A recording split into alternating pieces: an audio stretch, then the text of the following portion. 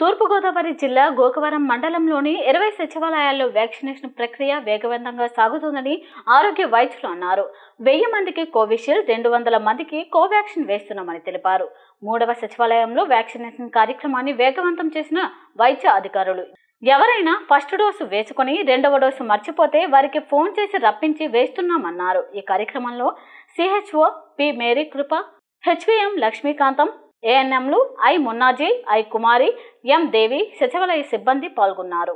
గోకవరం మండలంలో సచివాలయంలోనూ Covishield Covaxin vaccine వేయిస్తున్నారండి.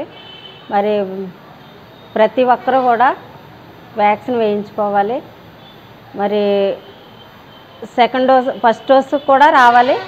Second dose కూడా వేయించుకోవాలండి. సెకండ్ డోసు జూ ఉన్న వాళ్ళందరికీ కూడా రాని వాళ్ళందరికీ మరి ఫోన్లు చేసి మా ఆశాలో ఏఎన్ఎంస్ ఫోన్లు చేసి రప్పించి వ్యాక్సిన్ వేస్తున్నామండి. త్రీ సచివాలయంలో ఉన్నాము.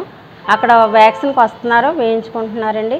మరి త్రీ సచివాలయంలో యాభై డోసులు కో కోవిషీల్డ్ ఇరవై కోవాక్సిన్ ఇచ్చారు. మరి ఇప్పటి వరకు వ్యాక్సిన్ వేస్తూనే ఉన్నాము. మరి కోవిడ్ని ఎదుర్కోవాలి అంటే ప్రతి ఒక్కరు కూడా మరి వ్యాక్సిన్ వేయించుకోవాలండి. అలానే ఈ కోవిడ్ని ఎదుర్కొనే జాగ్రత్తలు కూడా ప్రతి ఒక్కరూ తీసుకోవాలి. ప్ర తప్పనిసరిగా మాస్క్ ధరించాలి. శానిటైజర్ వాడాలండి. త- తర్వాత సోషల్ డిస్టెన్స్ కూడా పాటించాలి. ఈ మూడు కూడా మనం తెలుసుకుని వాడినట్టయితే తర్వాత ఫంక్షన్స్ కానీ ఎక్కడికి కూడా ఎక్కువగా వెళ్ళకూడదు. ప్రయాణాలు అవి చేయకూడదు. షాప్ మాల్స్ అవి వెళ్ళకూడదు. ఇలా మన ప్రతి ఒక్కరూ తెలుసుకుని కోవిడ్ని ఎదుర్కొనేటట్టు ఉండాలండి.